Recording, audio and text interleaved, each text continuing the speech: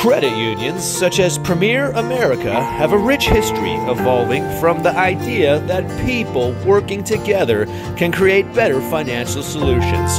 Especially when, as owners, no, no, no, no, no, no! Ah, dang it!